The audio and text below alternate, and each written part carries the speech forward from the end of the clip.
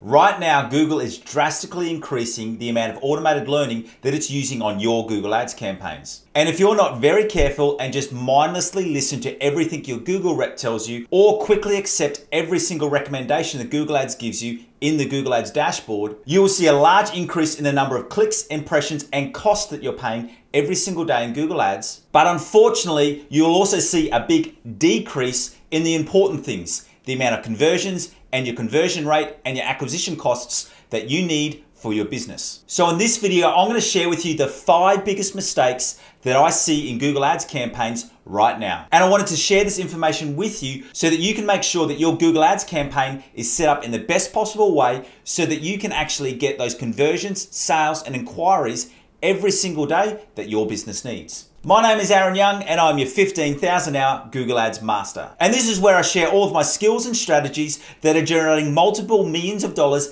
every single year for businesses all around the world. So if you would like to learn how to create and optimize profitable Google Ads campaigns, why don't you give me a quick subscribe right now Thank you very much. All right, let's get into those five biggest mistakes that you need to avoid in your Google Ads campaign. And the first biggest mistake that I see is that people don't actually go into Google Analytics and check their Google Ads data. Now, Google Ads gives us some great data in regards to our click-through ratios, our average cost per click, and our conversion rates. But what the Google Ads dashboard doesn't tell you is it doesn't let you know what actually happens when someone clicks on your ad and then goes through to your website. Especially very early in your campaign, in those first 30 to 45 days, where you're going through and trying to build up those conversion actions or those sales for your business, your Google Analytics profile will give you so much data that you can use to increase the performance of your Google Ads campaign. And that's because Google Analytics will be able to give you some very quick factors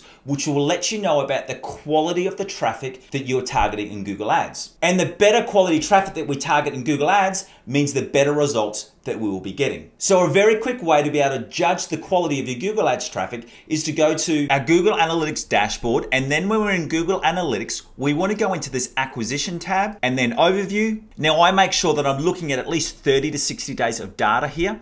And what we quickly want to do is we want to go through and have a look at how our Google Ads traffic relates to other avenues of traffic. And by going to this overview, you will see how your paid search or your Google Ads traffic compares with social, organic, direct, and any other traffic forms that your website may be generating. And so what we can see here very, very quickly is that when we look at our paid search bounce rate of 65%, that is in line with our website bounce rate of 64%. And if you don't know, your bounce rate records the percentage of visitors who only visit one page on your website. And then from there, we also want to go over and have a look at our goal conversion rate. And we can see here with our paid search that it's at 9.62% versus the total website conversion rate of 6.79%. Once again, this is telling us that this is a very strong campaign. And if we want to look at this data further, we can just click on the paid search tab, and then this breaks down the total amount for us in here. And if we were to see that we were having a very low average session duration or a very low goal conversion rate, versus the rest of your website, we know that our Google Ads campaign is not targeting the best keyword searches, audiences, or demographics. So by checking our Google Analytics data, it lets us very, very quickly know whether we are targeting the right type of traffic before we continue to go through and spend more and more money in Google Ads without getting any extra results. And when we talk about targeting the right type of keyword searches, this brings us to the second biggest mistake, and that is trusting exact match keywords. If you only take one thing out of this video is I want you to understand that Google Ads exact match keywords are dead. And if you have been running Google Ads campaigns for more than two years, you need to understand that Google Ads exact match keywords do not function the way that they used to function and the way that you think they function. And this point is so important, and that is why I've been emphasizing this point in my recent teaching videos. Because I want to make it clear and let everyone who is currently managing and optimizing Google Ads campaigns is that Google Ads exact match targeting has drastically changed. And that is, is that Google Ads has actually moved its exact match targeting over to an intent or meaning basis. So for example, if you're using exact match targeting for the keyword of pest control service, your ads and your precious Google Ads budget could be triggering searches like DIY pest control service. Or if you're selling baby products like baby earmuffs and you're using the exact match keyword of baby earmuffs or buy baby earmuffs, once again, your ads could be triggered for search terms like buy baby earplugs. And the reason for that is because Google no longer only takes the keywords that you're wanting to target, is that Google actually also puts in its intent or meaning to run some different split tests to see if there's broader keyword themes that your ads will work on. And for that second example I gave of baby earmuffs versus baby earplugs, they are two very different products with two different markets. And if you're not aware of that and checking your search term audits, you will actually be wasting a lot of money and you may not even know about it. So to combat this, at least on a weekly basis, but I recommend twice a week or every 72 hours, you need to go and complete a search term audit, which is where you actually go into keywords and then search terms and then review every single search term which has triggered your ads. And if you see any search terms which you don't want to be used to trigger your ads, you just need to quickly select them and then add them in as a negative keyword so that Google no longer uses that search term to trigger your ads. Now we get to the third biggest mistake that I see in Google Ads right now, and that is that people are not split testing their responsive search ads. At the time of this recording, we are just two months away from Google Ads removing the ability for us to be able to create any new or edit any existing expanded text ads. But even with this change, you need to be running at least two different responsive search ads in each ad group. And the reason for this is that Google actually needs 5,000 impressions in a 30 day period in order to be able to split test one responsive search ad. But the problem with that is, is that the vast majority of ad groups will not be actually getting 5,000 impressions in a 30 day period, which means that your responsive search ad will just be going through an endless learning loop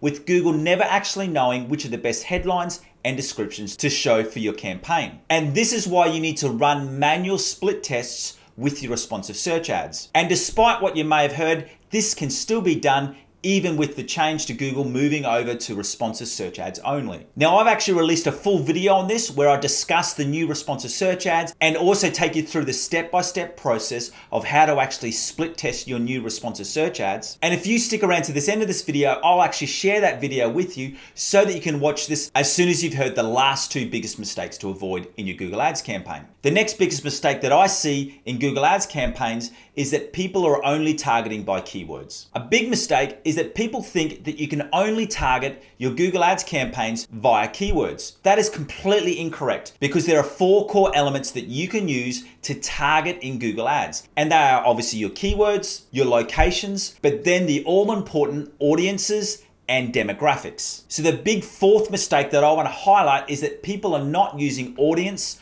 or demographic targeting in their Google Ads campaigns. And this is a hugely costly mistake because if you add in extra audience and demographic targeting into your Google Ads campaigns, it means that you can actually filter down who actually sees your ads so that you're not only targeting the keywords, you're also targeting the type of people who are entering those keywords who are more likely to buy your product or order your service. For example, if you're selling a baby product, but specifically an infant product that can only be used by parents in that first year of having their young baby, rather than targeting all parents, you want to be specifically going into your audience targeting and only targeting those audiences around parents with infants. Or if you're running a home maintenance service and you're advertising like an air conditioning maintenance, and you know that this is only responsible for homeowners, you can actually target your demographics to people who are only homeowners. And that cuts out a lot of searches by renters who might be doing some Google searching just to actually find out about the air conditioning maintenance and whether it's the responsibility of the homeowner